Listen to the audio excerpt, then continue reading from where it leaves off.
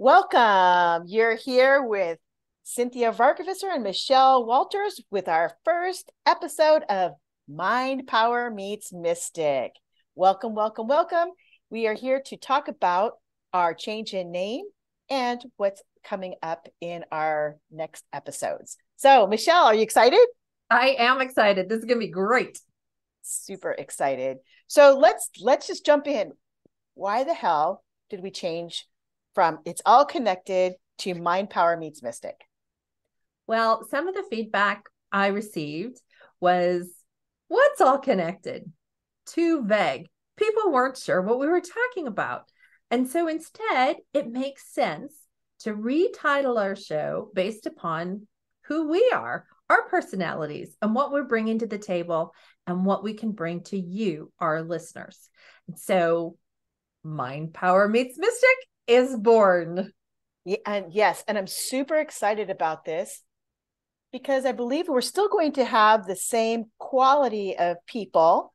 And let's talk about that. We're going to have the same quality of people, and there's going to be much more juiciness in it because we are going to do some episodes on our own and some episodes together. So, yeah, let's talk about that too. Yep. We also realized that while the two of us have a huge overlap in the kind of people we serve and the topics that are interesting, there are things that make me and Cinthia different. And so we wanted to take the opportunity to have some time to emphasize those differences and so that our listeners could get to know the unique and different parts of each of us. And to that end, we'll see if we follow our planned execution exactly. But our planned execution is to have about a quarter of the episodes, Cinthia and me together, about a quarter of the episodes, Cinthia and me with a guest. A quarter of our episodes would be led by me, and a quarter of the episodes will be led by Cinthia. And those might be solo or guest episodes. So, what we think this will bring our listeners is quite a bit of variety, hopefully, not too much confusion, and an opportunity to spend plenty of time talking about each of us individually as well as where we overlap. And there's certainly plenty of room for overlap. We have a lot of guests that we're excited to invite coming up this year. Right. When we when we did a Venn diagram of who we are and what we do and who we serve, there is a huge overlap. However, our interests are so big. I'm really excited to hear who you're going to bring on because you get to do a deep dive in your own special way of who you really connect with. And and i can't wait to be a listener on that show. I'm really excited because you are so damn smart. And you ask smart questions right? Where i'm like hey hey hey let's flow this way and let's flow that way. You know it's a little bit more popcorn style when i interview people. So well that's true. But you always are the fun one and that coming out of maybe not left field, but somewhere beyond it. Part of the reason why we love you, Cinthia. So I think to try and sum it up, my perspective on things is a little bit more mental or corporeal or focused on the subconscious where I see your viewpoint as you work with your clients is it's sometimes working on the same problem, but it's handling it in a different way, more from a What you call it, a mystic perspective, I guess. Right. Well, it, it does. It comes from my client's experience beyond their birth sometimes. And beyond birth can be intergenerational, it can be past lives, which I don't touch on very often because sometimes people, when they go into past lives, they start uh, being passive about the things that they're challenged with because, oh, that was in my past life. It's a weird thing that people do, but that's what they do but we do come at it from a different energy right mm-hmm. mm-hmm. yeah and so. yet we're both curious about so many of the same topics i know i know i get excited every time we talk about who we're going to interview together so so we thought we would talk a little bit about the evolution of the name mind power and the evolution of the name mystic so I think when I met you, Cinthia, you were going by everyday mystic.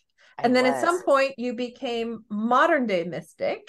Right. And at some point, you told me you wanted to become urban mystic, but you couldn't be urban mystic because that was taken. There's a musician named Urban Mystic, and actually, he has a great song out that I would love to actually use as one of one of my intros, just because it's so in line. But it's true.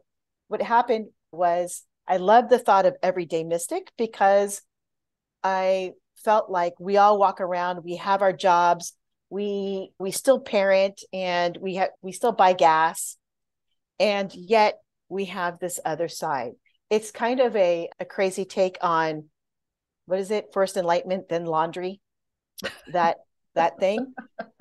But then what i felt was that every day felt a little bit too mundane and or too pedestrian how do you like those words that's something that comes out of your space but it felt a little too pedestrian for me and i so I changed it up to modern day mystic. And I liked it because it was more hip. It was uh, not trendy, but then I could not talk so blah, blah, blah, blah, blah. You know, it kind of matched my vibe of being really excited or excitable, things like that. And I really want to be urban mystic. Maybe you can call him and it could be your walk up song. Right? It would be awesome. It'd be It'd the be perfect so awesome. walk up song. Yeah, right. I don't have a walk up song, but you have a natural one. That's fabulous. Right. I know. So that's where I am. So where I am right now is because I'm not urban mystic, the thing that I want it to be is and mystic, which is pretty much what I was saying is everybody walks their life. And my job is for you to add your secret sauce, your mysticism to it, right? Whether it's color, cultural, energetic, things like that. So it's and mystic. So today I'm the ampersand mystic. Ampersand mystic. That's what allows you to be so many different things, Cinthia. Yeah, it's kind of like the dump out, right? but here's the funny thing the thing that I love about, first of all, I love mind power. I know you as mind power junkie. So it was so natural. And the reason I thought it was great when I think of you and mind power junkie is you love to read, you love books, and there was a point where you wanted to do a book review on pretty much every book you've ever read and your library is humongous which is that's my vocabulary right so uh, tell me about mind power i love mind power junkie how'd you come up with it and how do you feel about it I came up with Mind Power Junkie because I realized that not only did I go to hypnotherapy school to learn how the mind works and how to use it in the most healing modalities possible, but I read a lot and I read a lot now. I read even more, uh, to be honest, a few years ago. And the kind of books I like to read are often about mind power, often about understanding how getting your thoughts under control and being able to recognize that thoughts are things and that it's important to be able to realize what they are in cases where they're deeply embedded in the subconscious to dig them out and see if you need to reshape them or reform them. And so I was like, what do I think of myself as? Well, I'm kind of a junkie on this particular topic. It's not so much a word I use all the time, but it seemed to fit. So I, hence Mind Power Junkie was born. I love it. And actually the thing that I love about junkie, yeah, it's not something that you normally would say. No. However, everybody understands based on Mind Power Junkie that you are an avid reader and that you that you use a lot of the things that you read, right? Where I read for, I mean, I do like some self-help books and things like that but not in the way that you relish your books. You know, you well, relish. I and I, you and I actually like some of the same fiction, which I think that's true. that's true. That's a shout out to you, Christopher Moore. Yeah, we want you on our show. We're just the putting it out there right now. that's right, author guy. We're talking about you. New Year intention. yeah but we do read different books we do have different perspectives on things and that's part of the reshaping of the show this year is moving into a zone where i think our listeners will have a little bit clearer idea of what to expect from the show where i'm coming from and the topics that i'm bringing to the table as well as your topics and what you're bringing to the table and what you want to talk about. So right. it's going to be a great year. I'm really looking forward to our 2023 year of podcasting. I am super excited as well. I'm really excited for you, Michelle, and I'm excited for us because the I can't even imagine who all we're going to have. I have we have a great list, and and right, and we're going to have the ampersand better. today. Yeah, exactly, exactly. Let's be abundant with that ampersand. Absolutely. Stop the year exactly. I'm with you. So, shall we talk a little bit about what events and activities we have coming up in January and this spring? Let's do it. Let's do it. Let's start with you because you have some really great stuff coming up. I have a few things coming up in January. Every month, I have a special event, a free event to try out online hypnosis. It's over lunch on a Friday. And this month it is on January 13th. I call it Nourish and Flourish. And it takes from about 12 to about 1245 or so. You have plenty of time to finish up and do your thing before your next meeting at one. But Nourish and Flourish will be on January 13th. My next date is Hypnosis for Sales. So I started this last fall, had really good response. It's an online hypnosis session, again, about 45 minutes and it's an opportunity to put yourself into the place of doing a fabulous job on your sales calls. And the third thing I am promoting for January is a special and brand new class. It's going to be all on self expression. It's called Free to Be Me in 2023.